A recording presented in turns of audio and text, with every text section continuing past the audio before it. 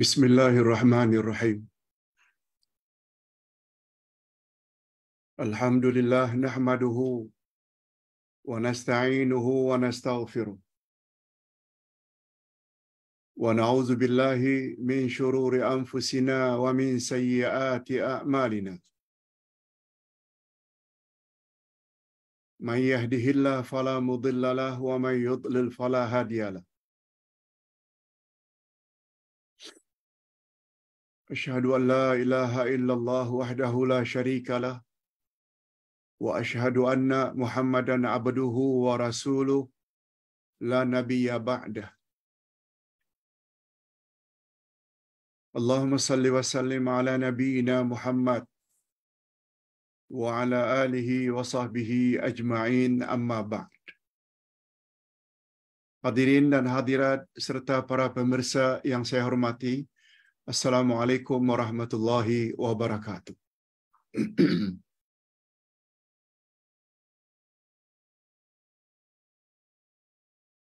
Alhamdulillah kita bersyukur kehadirat Allah Azza wa Jalla. Berkat taufiknya kita dapat bersama sekali lagi dalam majlis ilmu pada pagi ini yang akan kita isi dengan topik yang cukup menarik. Bangsa Yahudi enggan memasuki Palestin dan akibatnya.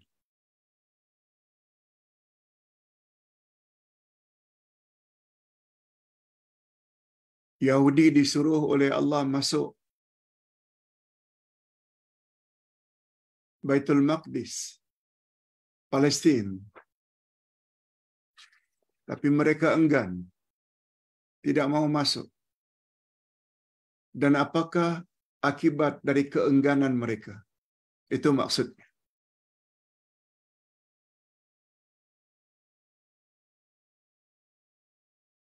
Insya Allah melalui tafsiran pagi ini kita akan dapat tahu sebenarnya Palestin itu milik siapa?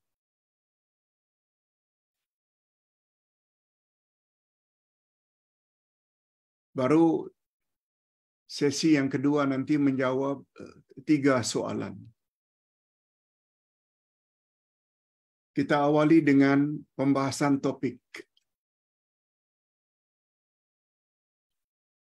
Bangsa Yahudi enggan memasuki Palestin dan akibatnya. Tafsiran topik ini berdasarkan ayat 20 hingga 26 dari surat Al-Maidah. Lihat kitab ini. Tafsir Al-Furqan juz yang ke-6 bermula dari halaman 159 sampai 169. 10 muka surat. Tapi kita tak baca. Ustaz akan jelas secara ringkas saja. Tapi insya Allah tak lari. Dari 10 muka surat ini. Dan Ustaz yakin para jamaah pun dah baca tadi malam atau pagi tadi. Sepuluh muka surat ini. Dan mudah faham insya Allah. Karena sudah ulang kaji sebelumnya. Itu gunanya bila kita ada buku. Bila kita ada kitab. Dia sebenarnya lebih memantapkan pemahaman kita berbanding hanya dengar saja, tak baca. Dengar tak cukup. Di sinilah rahasianya. Mengapa ayat pertama saja berulang kali Allah sebut yang diturunkan kepada Nabi. A'udzubillahi minasyaitonirrajim. Iqra. Bismi rabbikal ladzi khalaq. Iqra wa rabbukal akram. Iqra, iqra, iqra.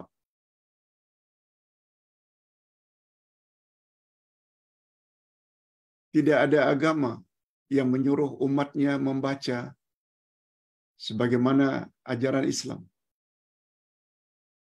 Walaupun dalam realitinya, justru non-Muslim suka membaca. Orang Yahudi dikatakan dalam satu minggu, seorang profesor pernah menyebut, mereka membaca sampai tiga buku dalam seminggu. Sebabnya mereka banyak ilmu. Cuma sayangnya, kebenaran yang mereka miliki, mereka tidak ikut. Walaupun Islam satu agama yang sangat menggalakkan membaca,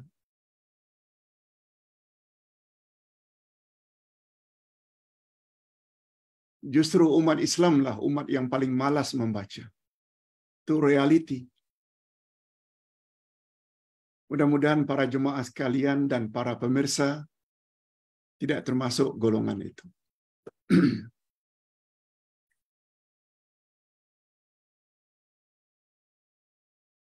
Baik.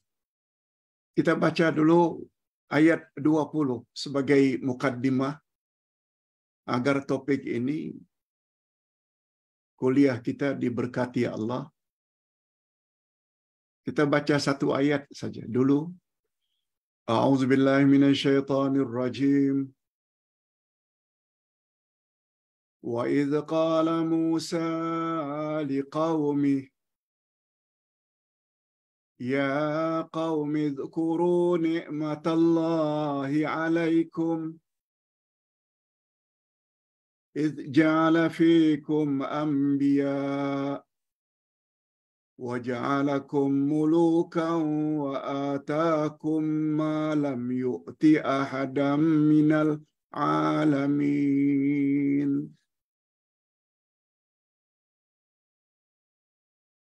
Coba dengar terjemahannya. Ingatlah ketika Musa berkata kepada kaumnya, yakni kaum Yahudi.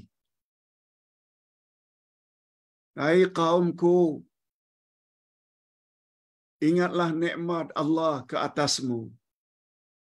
Ketika dia mengangkat nabi-nabi di antara kamu.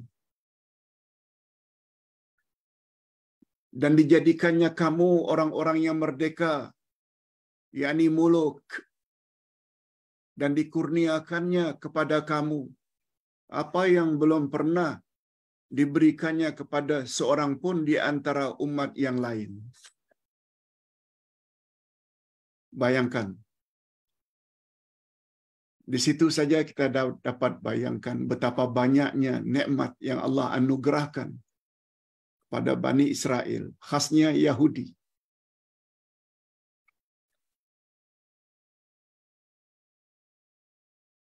Okey, sekarang kita masuk tafsiran ayat.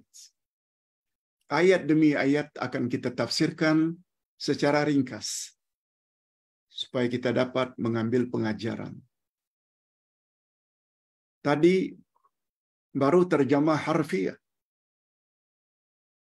Pengajaran yang dapat kita ambil mesti melalui terjemahan yang satu lagi. Terjemah maknawiyah atau nama lainnya tafsir atau tadabbur. Sebelum itu, bagus juga kalau kita buat sedikit mukaddimah. Sebagai apa persepsi. Menyambung pelajaran dulu dengan pelajaran akan datang.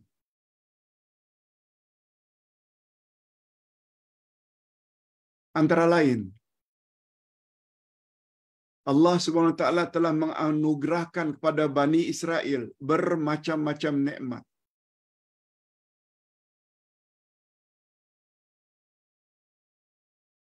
Terutama Bani Israel Yahudi. Umat Nabi Musa. sangat banyak Allah anugerahkan kepada mereka. Sehingga kata ulama tafsir, salah satu kandungan utama Al-Quran menceritakan tentang nabi-nabi terdahulu bersama umatnya. نبي نوح نبي إبراهيم نبي لوط نبي صالح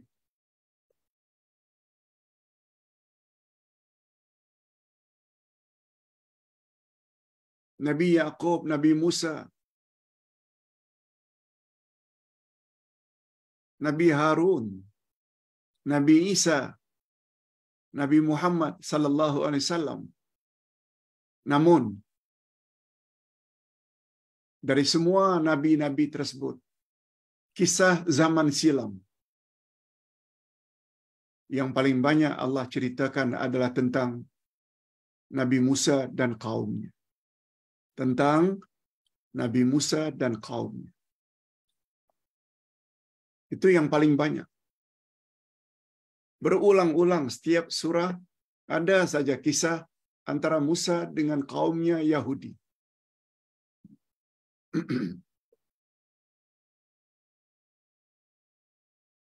Bangsa Yahudi telah diberi oleh Allah nikmat yang bermacam-macam. Antara lain mereka diselamatkan oleh Allah dari kejaran Firaun. Selamat menyeberang. Karena lautan dibelah oleh Allah dengan sebab tongkat Nabi Musa. Mereka selamat ke seberang jazirah Arab, meninggalkan Mesir.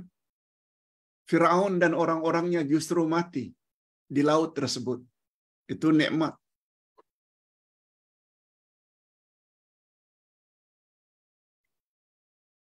Mereka adalah umat yang merdeka. Muluk. Nanti kita jelaskan makna muluk.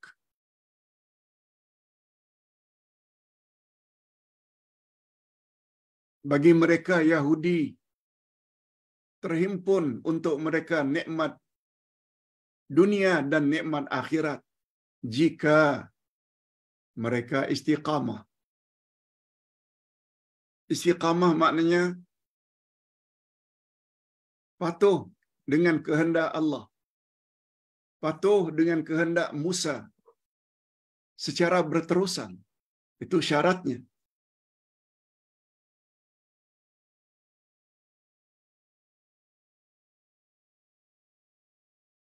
Tetapi sayangnya kurnia Allah Subhanahu wa taala tidak disyukuri. Ini punca. Ini punca Yahudi jadi macam sekarang. Dunia tak bahagia, terus dilaknat dan dikutuk. Di akhirat menunggu neraka untuk mereka. Apa sebab? Karena tidak istiqamah dengan perintah Allah dan Musa.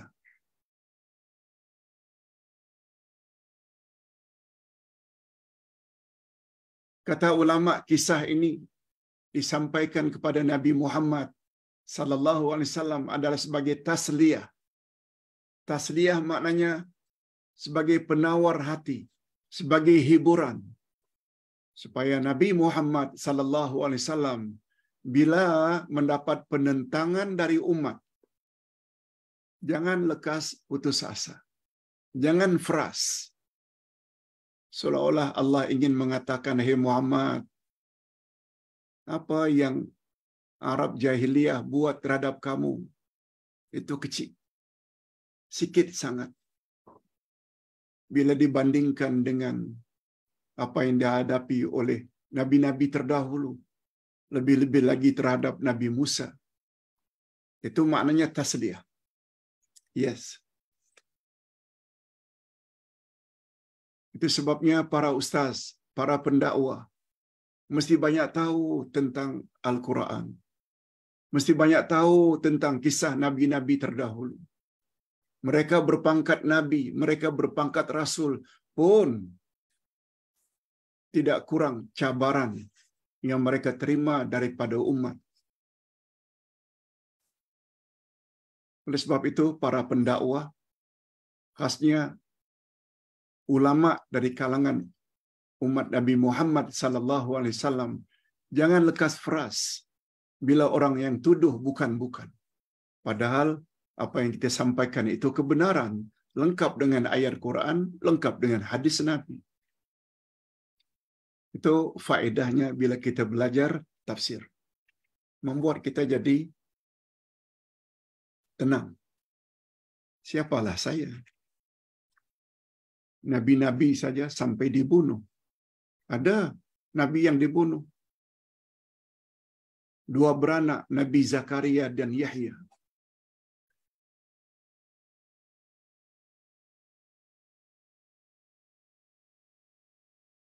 Hadirin dan hadirat rahimakumullah. Itu sebabnya di dalam ayat tadi, kalau mau diringkaskan, ada tiga nikmat yang Allah telah beri kepada Bani Israel, khasnya Yahudi. Pertama, Allah mengangkat kebanyakan nabi dan rasul adalah dari kalangan Bani Israel. Jumlah Nabi 120 ribu. Majoriti mereka adalah dari kalangan Bani Israel. Rasul pula dalam satu riwayat dikatakan ada 315. 315. Cuma yang wajib kita ketahui ada 25. 25. Karena hanya 25 disebut dalam Al-Quran. Tapi Rasul bukan hanya 25. Sebenarnya lebih. Dalam satu riwayat dikatakan 315. Dan kata Imam Ibn Kathir dalam tafsirnya, dari 315 itu, 10 saja yang bukan Bani Israel.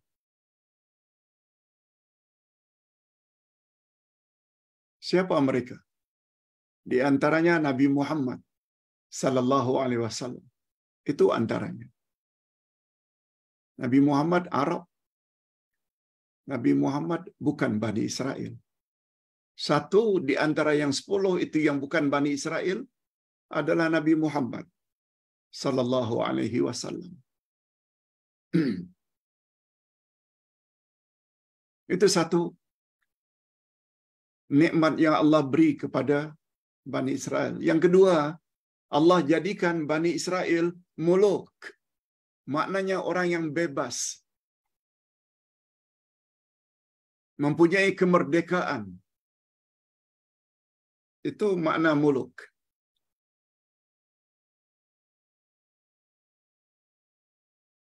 Dan yang ketiga, orang Yahudi telah diberi oleh Allah nikmat yang Allah tidak beri kepada umat yang lain. Mereka lah umat yang paling banyak menerima nikmat. Yang sezaman dengan mereka ya, yang sezaman dengan mereka. Tidak ada umat sezaman dengan Yahudi yang mendapat nikmat sebagaimana Yahudi terima. Tak ada.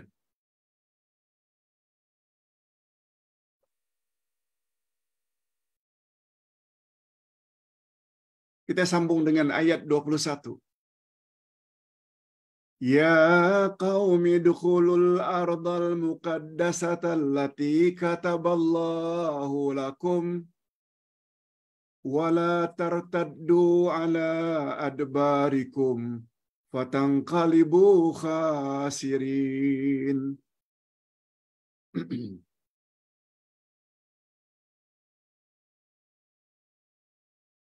Allah menceritakan dalam ayat ini Nabi Musa berkata kepada kaumnya Yahudi Hei kaumku Yahudi masuklah kamu ke tanah suci Palestin. al-ardal muqaddasah. Masuklah kamu ke Palestin yang telah ditentukan Allah bagimu. Yang telah ditentukan Allah bagimu.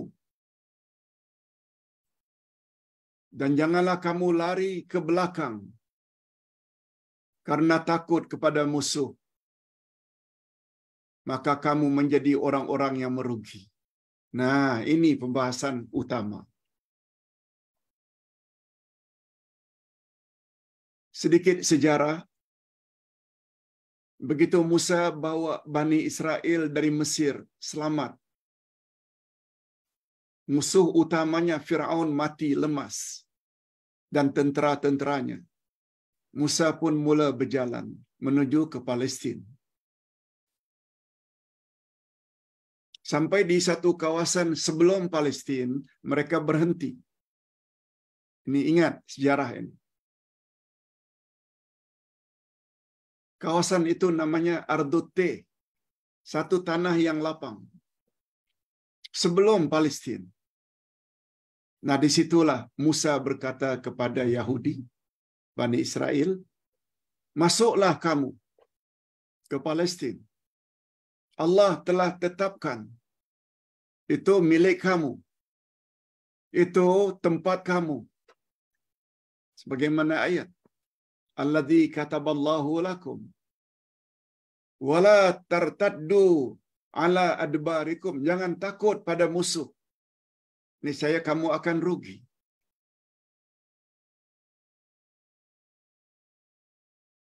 Hadirin dan hadirat satu perkara yang perlu diingat.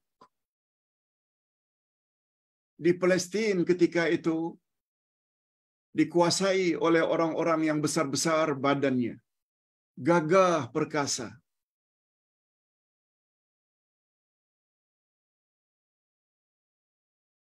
Dan sebelum memasuki Palestin, Nabi suruh 12 ketua kabilah. Kabilah atau suku Bani Israel ada 12. Ada 12. Setiap ketua suku dikirim oleh Musa untuk reki, untuk selidiki. Ada apa di dalam Palestin. Lalu pergilah 12 orang. Utusan dari Musa. Musa tak ikut. Ketua-ketua kabilah saja.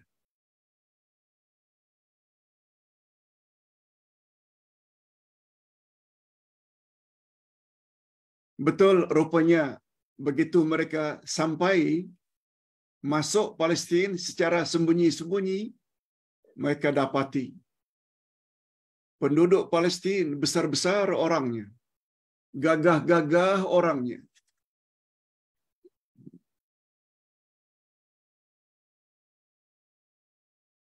Lalu begitu balik jumpa Musa, mereka ceritakan semuanya itu.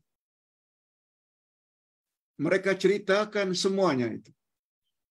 Tentang kehebatan orang-orang dalam Palestin. Kecuali dua orang saja. Yang pegang amanah. Apa dia amanah? Pesan Musa sebelum mereka pergi. Apapun yang kamu lihat dalam Palestin, jangan kamu ceritakan pada siapa-siapa.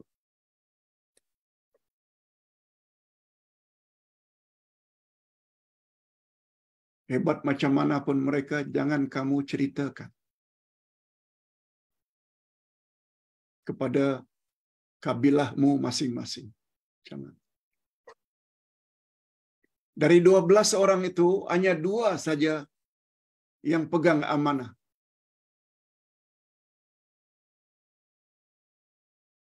Pertama, yang bernama Yusa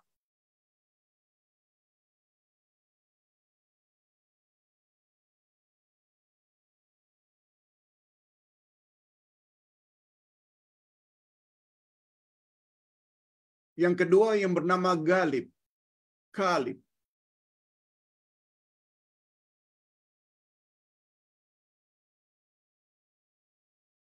Hadirin dan hadirat serta para pemirsa yang saya hormati,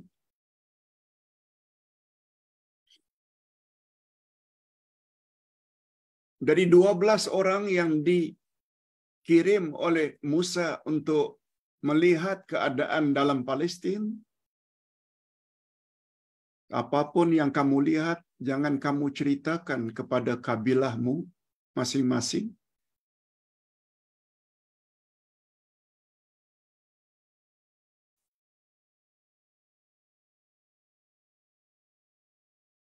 Ternyata yang pegang amanah itu dua orang saja. Pertama namanya Yusa bin Nun. Yang kedua Kalib bin Yohana. Okey, sebelum sampai ke peringkat itu,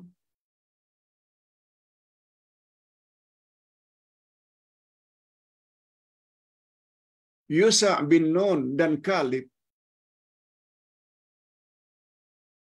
menyuruh kaumnya supaya masuklah. Sebab mereka tak menceritakan kepada kaumnya tentang kehebatan dan kegagahan orang-orang dalam Palestin.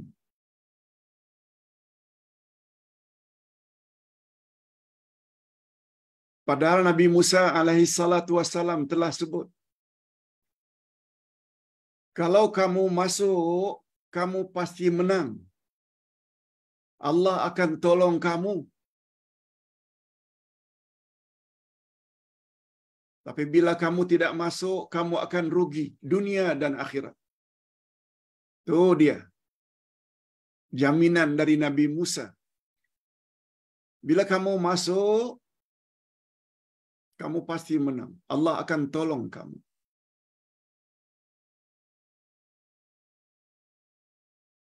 secara tersirat walaupun mereka gagah perkasa.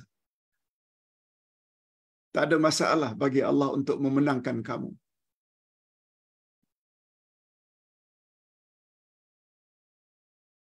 Tetapi apabila kamu tidak mau masuk, kamu akan mendapat kerugian. Itu sebabnya pada penghujung ayat tadi, Allah sebut fatangqalibu khasirin. Maka kamu menjadi orang-orang yang rugi. Bila kamu tak berani masuk. Nah sini Nah di sini kita jelaskan sedikit. Palestin itu milik siapa sebenarnya? Ini penjelasannya. Kata Profesor Wabah Az-Zuhaili dalam kitab tafsirnya Tafsir Al-Munir.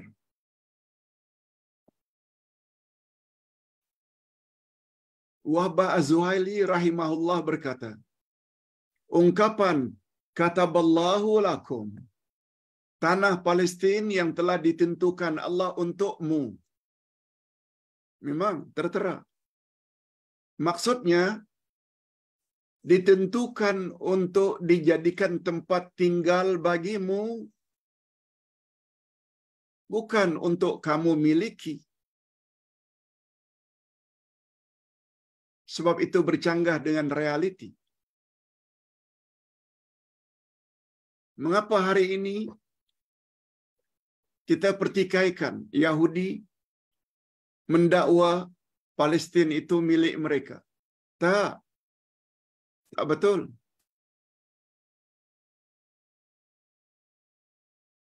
Adapun dakwaan Yahudi bahawa Palestin sebuah kawasan yang sudah dijanjikan oleh Allah untuk mereka sahaja, itu tidak benar.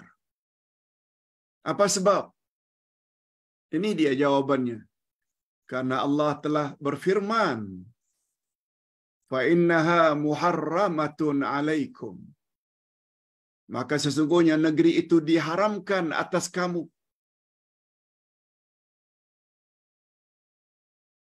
Allah yang sebut. Coba kita dengar apa kata pakar tafsir. Sahabat Nabi Abdullah ibnu Abbas. Komen Ibnu Abbas Palestin mulanya adalah anugerah atau hibah Allah untuk Bani Israel. Betul? Kata Allahu lakum untuk kamu. Tapi Allah kata Palestin itu muharramatun alaihim.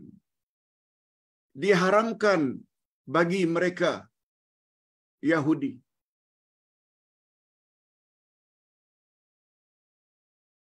Sebab Palestin itu barulah menjadi hak Yahudi bila, bila mereka memenuhi syarat. Apa syaratnya? Masukilah Palestin itu. Kamu nanti akan menang walaupun penduduknya gagah dan kuat perkasa. Syarat itu tidak dipenuhi. Syarat itu tidak dipenuhi oleh Yahudi. Coba dengar ayat berikutnya. Apa kata mereka kepada Musa?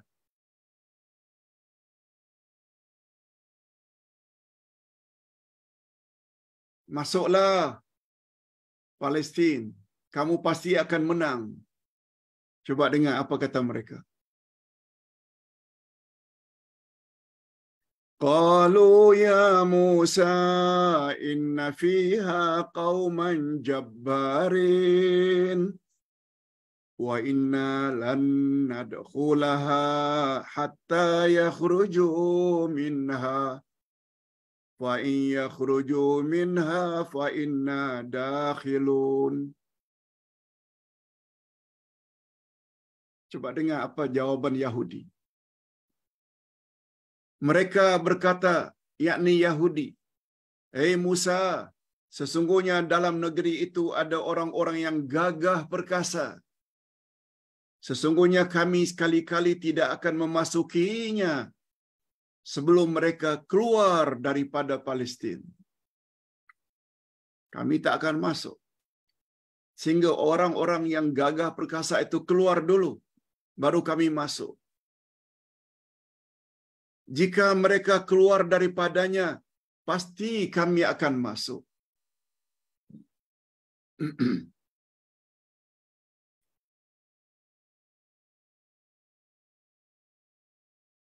Itu yang Ustaz sebutkan tadi. Ekoran daripada itulah Musa kirim 12 orang ketua-ketua kabilah untuk reki, untuk menyelidiki sampai di mana kebenaran orang sana itu gagah-gagah. Cuma dari 12 orang itu, sepuluhnya khianat mereka ceritakan kepada kabilah masing-masing sehingga mereka akhirnya jadi takut. Kecuali dua orang yang kita sebutkan tadi. Yusa' bin Nun dan Kalib bin Yohana. Dua orang ini saja yang amanah.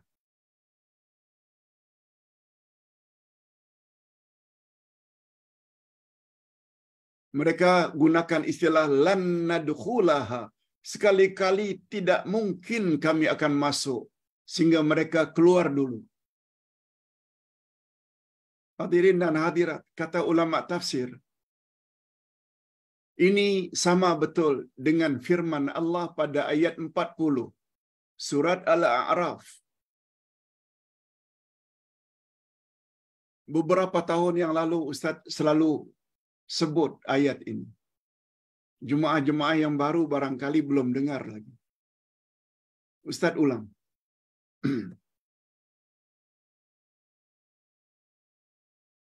Allah menyebut orang-orang yang mendustakan ayat-ayat Allah dan bersikap sombong terhadap ayat-ayat Allah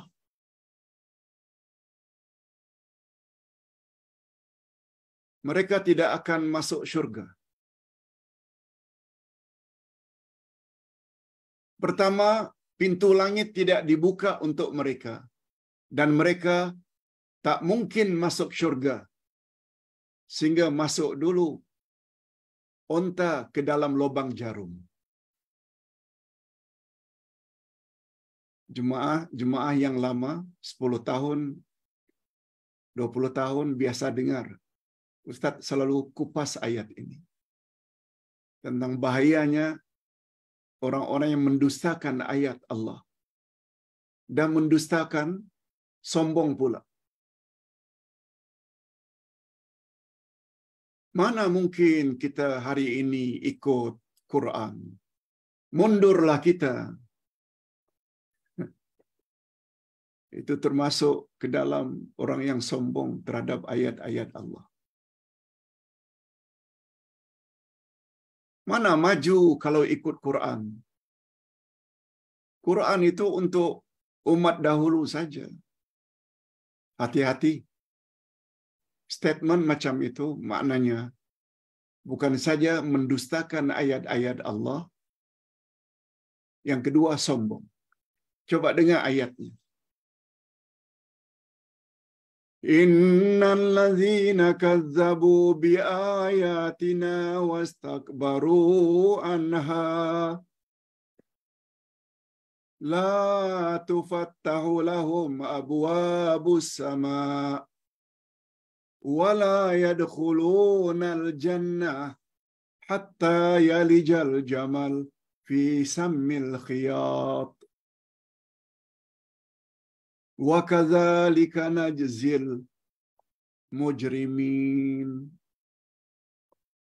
Coba dengar baik-baik agar jadi pengajaran. Takut kita. Orang-orang yang mendustakan ayat-ayat kami semastakbaru anha kemudian mereka sombong terhadap ayat-ayat kami itu. Apa akibatnya? Bila ayat-ayat Quran didustakan, tak percaya sombong pula. Sombong-sombong bodoh.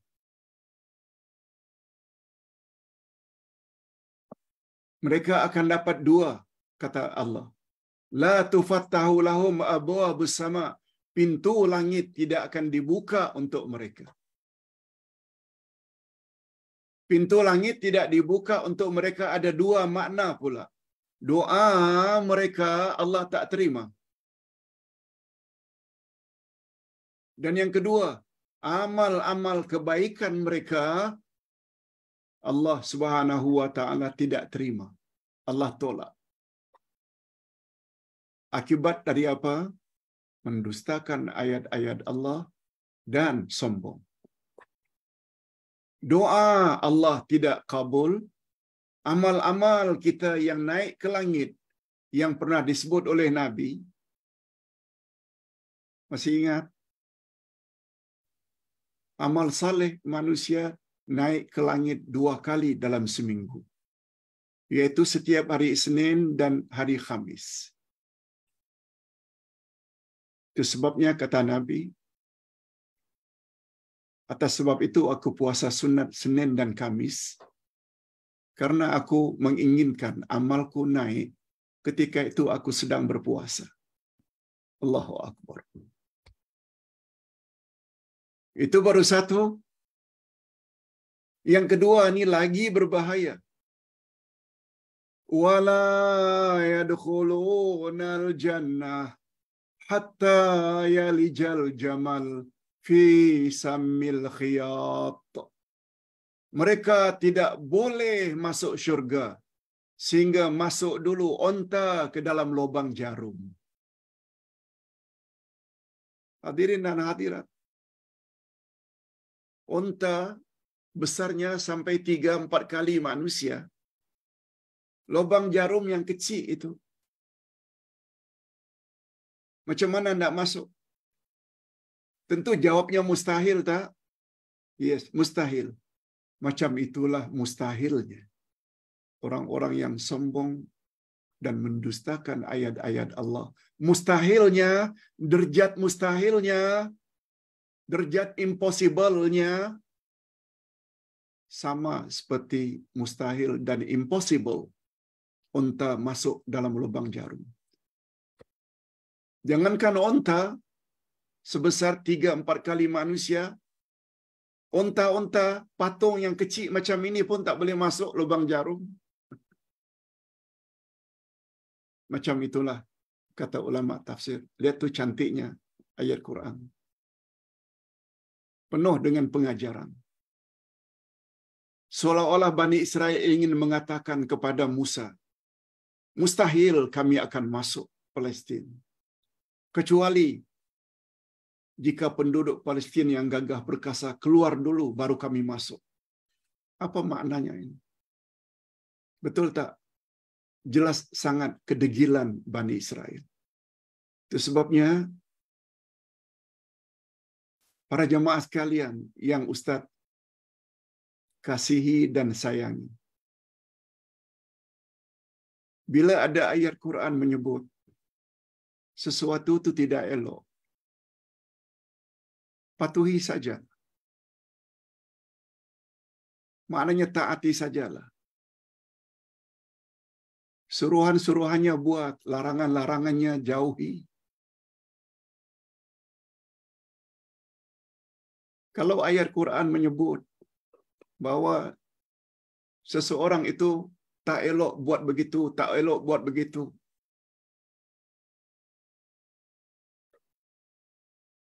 Kita juga mesti ikuti cakap Allah. Jangan terus kita sanjung dan puji. Mentang-mentanglah orang itu kita sayangi. No. Mentang-mentang orang itu kita cintai. Ustaz selalu sebut pada jemaah. Cinta itu sebenarnya tidak buta. Tapi cinta boleh membuat semua orang jadi buta. Love is not blind. But love make everyone blind. Cinta kasih sebenarnya tak buta. Tapi yes, cinta boleh membutakan banyak orang. Memuji seseorang secara keterlaluan. Baik ke orang itu, tak baik ke puji saja, sanjung saja. Itu maknanya orang itu dah buta. Karena cintanya yang keterlaluan. Oleh sebab itu nasihat Ustaz, berpada-padalah. Bukan saja terhadap orang yang kita benci, juga berpada-padalah terhadap orang yang kita sanjung dan sayang. Tegakkan keadilan. Adil maknanya meletakkan sesuatu pada tempatnya. Bukan secara melulu yang dalam bahasa Jawanya secara sembrono. Itu orang jahil. Oke. Kemudian kita sambung dengan ayat berikut. Masya Allah. Banyak sebenarnya pengajaran yang dapat kita ambil. Baru separuh. Dan 45 minit. Oke, kita ringkaskan.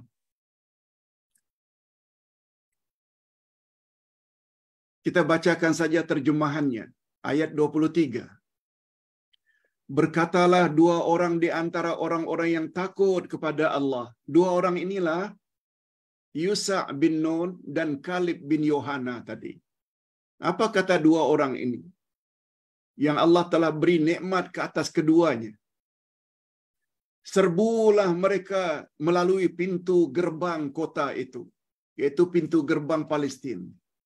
Maka bila kamu memasukinya, kamu akan menang. Dan hanya kepada Allah hendaklah kamu bertawakal jika kamu benar-benar orang yang beriman. Ah, Ini tentang dua orang tadi. Mereka ni sokong betul Nabi Musa. Yusa dan Khalid. Mereka suruh masuk. Jangan takut. Kalau masuk, Allah akan beri kemenangan. Tapi betulkan tawakal. Serah diri pada Allah. Sebab kemenangan bukan terletak pada kekuatan tentera, senjata. Kemenangan yang hakiki adalah anugerah ilahi. Itu maksud. Coba dengar apa jawaban kaumnya. Qalu ya Musa. Mereka berkata kepada Musa. Inna lan nadkhulaha abadan ma damu fiha. Fadhhab anta wa rabbuk faqatila inna hahuna qaidun. Coba dengar. Ini cakap orang yang tak beradab. Degilnya keterlaluan. Kepada Musa mereka cakap macam ini. Hei Musa, kami sekali-kali tidak akan mungkin memasuki Palestin abada selama-lamanya. Coba dengar. Selagi mereka ada di dalamnya, tak akan mungkin kami akan masuk Palestin. Coba dengar, ini lagi kurang ajar. Ini lagi kurang adab. Pergilah kamu, hai Musa dan Tuhanmu. Kamu, kami akan duduk saja di sini. Nabi Musa dan Tuhan disuruh masuk Palestin. Kami duduk di sini. Kami tak mau ikut. Lihat tuh sampai di mana kurang adabnya Yahudi terhadap Nabi Musa. Jawaban itu menunjukkan betapa kedegilan dan tidak beradabnya Bani Israel terhadap nabinya yang sepatutnya dihormati dan dibela.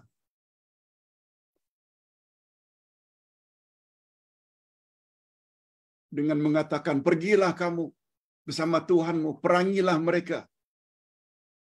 Sesungguhnya kami hanya duduk menanti di sini saja.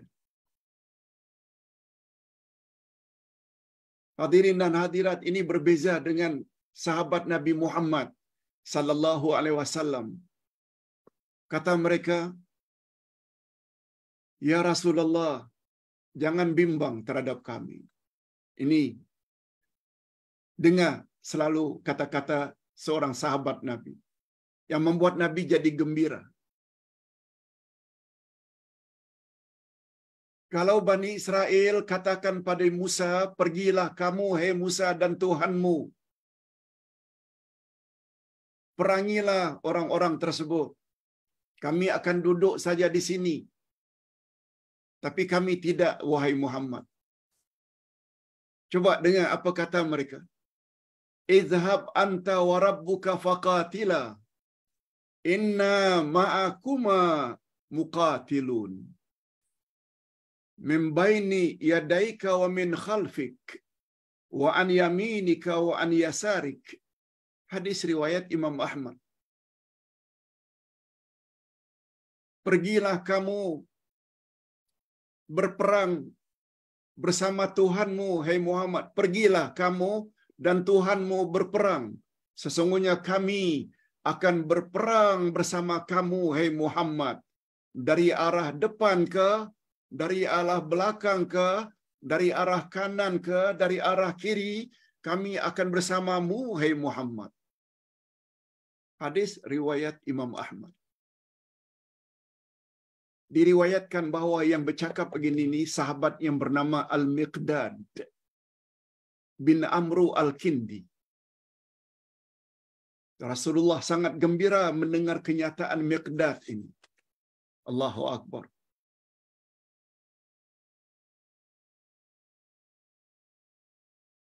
Kita harapkan mudah-mudahan kita mengikuti jejak langkah Miqdad. Kita akan perjuangkan agama Nabi Muhammad, sunnah Nabi Muhammad sallallahu alaihi wasallam sampai ke akhir hayat kita. Jangan takut cemohan orang. Sabar. Ini dia. Nabi Muhammad sallallahu alaihi wasallam mesti akan gembira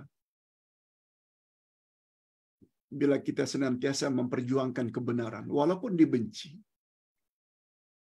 Sebab kita ingin ikut kata-kata Miqdad. Apalagi surat Muhammad ayat 7 menyebut, "In tansurullah yansurkum wa yuthabbit aqdamakum." Bila kamu bantu agama Allah, Allah pasti akan bantu kamu dan akan teguhkan pendirian. Ini gunanya kita belajar tafsir. Bukan hanya belajar tajwid, tajwid, tajwid, tajwid. Memanglah elok bacaannya, tapi belum cukup. Kalau tidak faham tafsirannya. Yang dapat membentuk pribadi seseorang adalah bila faham Al-Quran. Bukan hafal Quran. Bukan.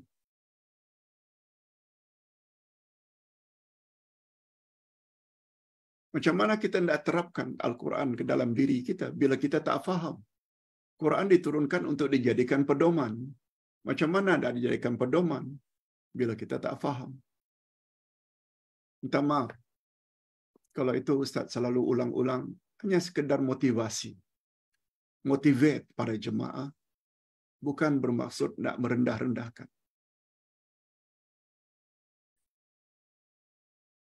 Kita hari ini sedang pakai kitab juz yang keenam. Bermakna sudah enam atau tujuh dengan juz amma. Baru tujuh juz. Quran yang perlu kita tahu 30 juz. 23 juz lagi. Belum kita tahu. Macam mana tidak berhenti belajar? Lalu ayat berikutnya, apa kata Nabi Musa mengadu kepada Allah?